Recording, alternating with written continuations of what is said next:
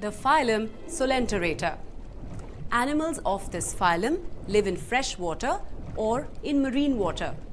They are either free living or are attached to some substratum.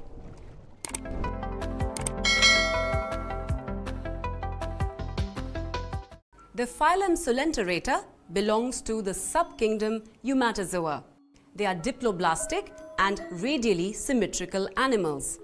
There is an only common cavity which acts as a gastrovascular cavity and the body cavity called coelenteron.